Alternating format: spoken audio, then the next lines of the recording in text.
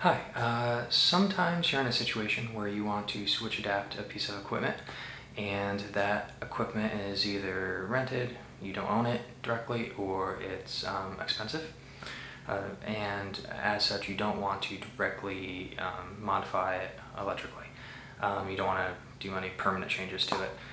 Um, but you still have options for making it more accessible. Uh, one option that comes to mind is that you can um, put an overlay over, if it has a remote or any buttons, you can put an overlay over that and then control that overlay.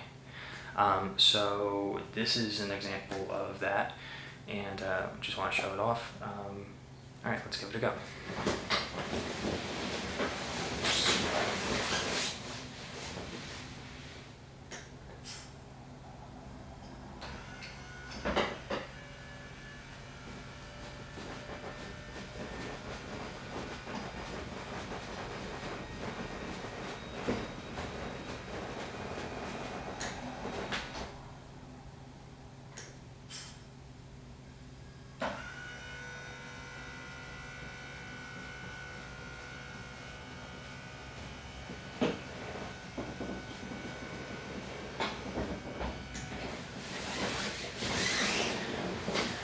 So what we have here is just a normal adaptive switch um, with you know the headphone type jack at the end. So it could have been any adaptive switch, um, SIP-puff or anything. Uh, that would have anything would have worked.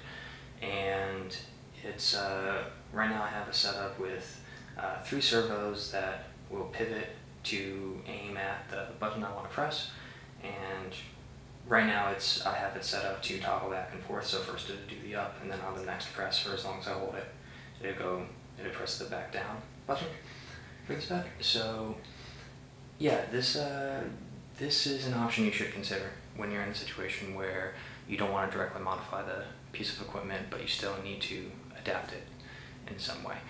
So um, this is an open-ended type of solution. It can work for different remotes, different equipment, and what you're using to control the adapter you're building can be can be anything that the user is capable of using.